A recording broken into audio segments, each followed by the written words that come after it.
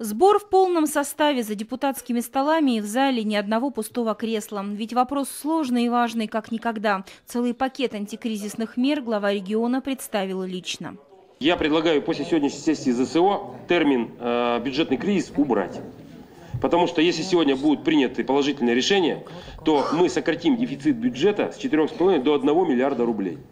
То есть мы сможем до конца этого года остановить рост долговой нагрузки.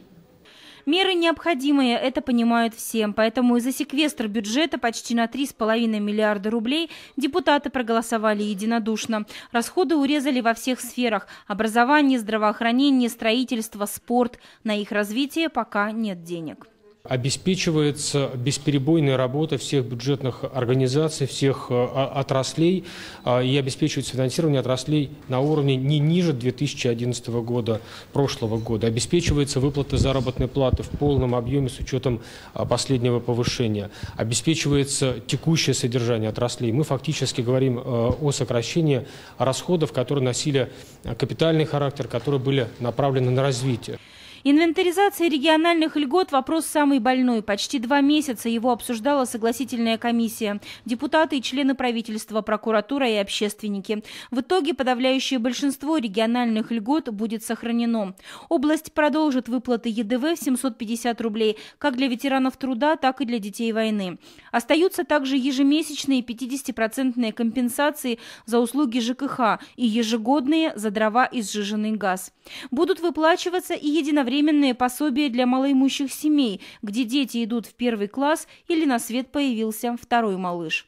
Что касается льготного проезда для пенсионеров в городском и пригородном транспорте, то на эту тему долго спорили, но решили приостановить действие льготы, начиная с 1 октября, что называется до лучших времен.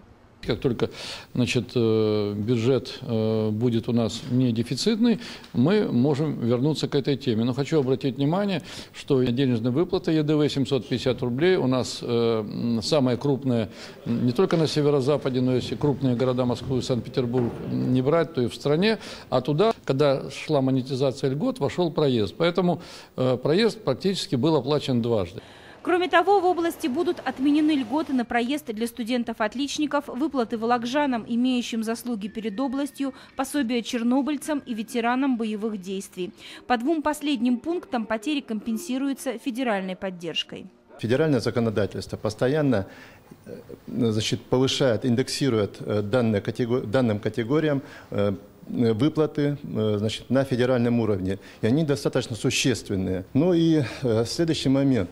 Мы же не полностью отменили эти льготы.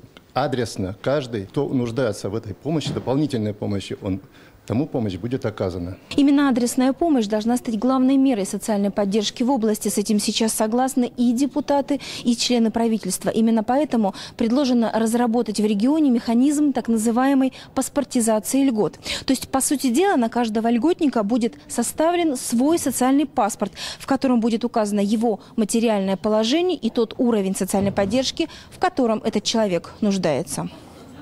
Впрочем, сокращение расходов даст лишь кратковременный эффект, поэтому программу укрепления доходной части бюджета губернатор также представил на сессии. Один из главных пунктов – борьба с серыми зарплатами и налоговыми недоимками. Ожидается, что ежегодно 4 тысячи граждан увидят повышение заработной платы до среднеотраслевого уровня. И полторы тысячи недобросовестных налоговых агентов погасят накопленные долги по НДФЛ. Эффект для, для бюджета по НДФЛ за три года составит 1,4 миллиарда рублей. Всего в программе не один десяток пунктов. В итоге предпринятые меры должны за три года принести в бюджет более 4 миллиардов рублей.